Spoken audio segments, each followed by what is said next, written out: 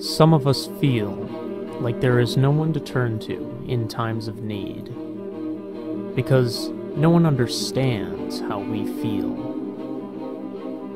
We fight wars and kill one another over beliefs and for power.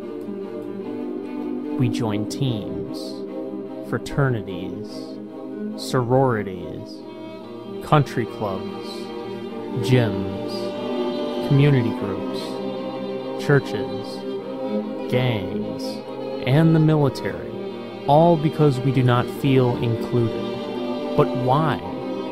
Why isn't being human enough? We all share simple interests, goals, and aspirations.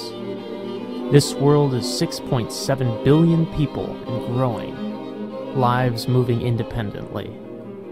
While there are so many different types of people and personalities from all walks of life, we forget that we are all the same. We are human. Yet, we cannot always agree, so we go to war with one another.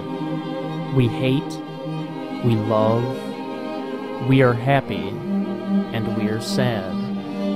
Where do we lose sight of this commonality? Maybe we lost it with the please and thank you we were taught growing up, or lost it in the same place the smile you shared with someone on the street has disappeared to. Where have the little things we used to share on a daily basis that made such an impact on our lives go?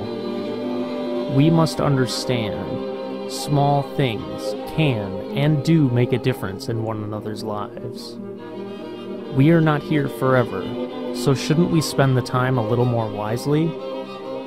A smile, a courteous gesture, these are the things that start humanity's success, or a lack of them that extinguish it.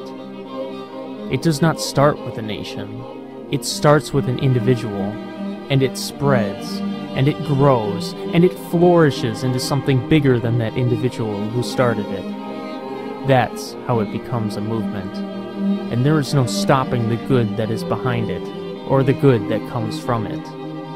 Small things can and do make a difference, and the easiest way to start is with a smile.